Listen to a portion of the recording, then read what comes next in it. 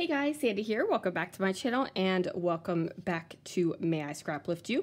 Now this is the layout that I am scrap lifting. This is by Christy from Christy's Beautiful Life. She posted this uh, layout yesterday or today and this video is going up on Saturday. So I really just loved it. Um, probably not going to be the same theme, but I love the composition of her layout. So let's see what I can do. All right, guys, so I actually gutted out that plaid paper because I want to use the plaid paper uh, as part of my photo mat. Now, I will admit, my plan was to have the plaid paper as the entire background, eh, just like in Christy's layout, but I cut down the plaid paper instead of the other paper. So you got to do what you got to do. Um, I am taking some uh, Dylusions ink spray and I just painted the circle on to my layout. And now I'm taking a variety of sprays. I've got some Brutus Monroe, the Dylusions, and uh, some Distress. And I just put down the splatters. Clean up the, the mat a little bit. Clean up the mat. Like, the mat is filthy. So now that I have uh, that down and done, it doesn't look too bad, I don't think. Um, definitely not what I was going for originally or what was in my head, but I really do like the way that it turned out. So I matted my photo, and that is, yes, that is boxed water. And if you guys have never tried boxed water, don't. It's nasty um, there is some sort of taste in it that is just horrendous, okay? Um, and that's saying something. so I have this big blue airplane that has been sitting on my desk for probably two years. No lie. Um, it's been brought to, it, yeah, it's been brought. That's that's really really uh, good English there, Sandie. Uh, it's been brought down to layouts multiple times, uh, and finally I decided it was going on this one.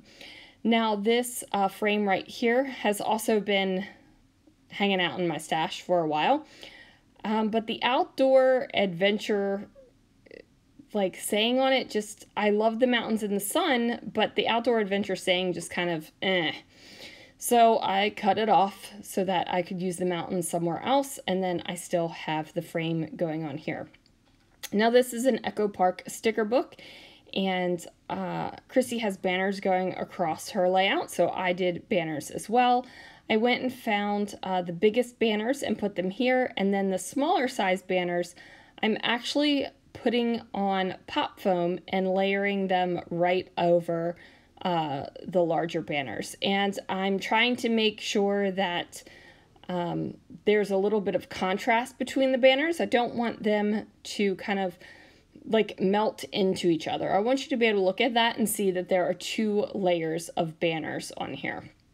Now, in my mind, I don't know if I'm adding twine to this. Like, what am I doing to have these banners go bannery?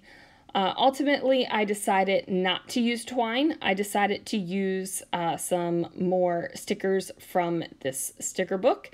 Um, now, the sticker book has been amazing. I would not have even thought to purchase it for myself, um, but one of my good friends, MK, had sent it to me um, as a small little gifty thingy. And um, yeah, it's perfect. It definitely um, works for a lot of my photos because you guys know I like to uh, scrapbook airplane rides. um, and this is actually on an airplane. So if I never said that, um, yeah, it's on an airplane. You're probably wondering what the heck I'm even doing. I never even gave you that explanation. I'm so sorry. Um, so now I've taken these two stickers from the sticker book. Uh, one is just a red uh, kind of, it's got a little bit of a print on it, and then the blue um, humper sticker, and I overlap them together and cover up the banners right here. So what that's going to do is now that awkwardness where the banners ends are just chilling out there, like it's not there anymore. So it works. Um, I'm adding in little bits just where I feel like it needs it. Now, Christy's layout has a lot of ephemera and die cuts and all kinds of fun things going on all over the layout. And I want to have fun things as well. I almost uh, put the flight attendant on there and took off that original sticker, uh, but ultimately I decided to leave the original sticker and not put the flight attendant on. Um, I had pulled out these puffy stickers. Now the the hexagon puffy stickers are not from Freckled Fawn. Um, they're actually from Jelly Bean Soup. But you guys know I uh, once once packages of stickers or letters or whatever uh, start to dwindle, I do combine my stickers with other stickers. Um, it saves room. There's less packaging chilling out. And, you know, when you have less packaging, you have more room for actual product. Um, so those are um, there. I say all that to say yes, they're all there. So now I add on some of these map print stars um, from Studio Calico. These are old and have been in my stash for a long time. And now it is time for the title. Now, I was going to put the title right on top of my photo, but I decided that it would look better down here. Um, and yes, the title is uh, does have WTF in it, um, but it did need that question mark. So I put the question mark down, and then I get the WTF down, and then I need to find some tile letter stickers to make the rest of my title. Because my title isn't just going to be WTF, it's going to be I mean WTF. so I'm going to put that down. And then there's this little place uh, between the painted circle and the hangover of the um, two stickers that I layered up where I'm going to place my journaling and talk about how much I hate boxed water. I put the date on top of the globe and then that is going to do it for this video, you guys.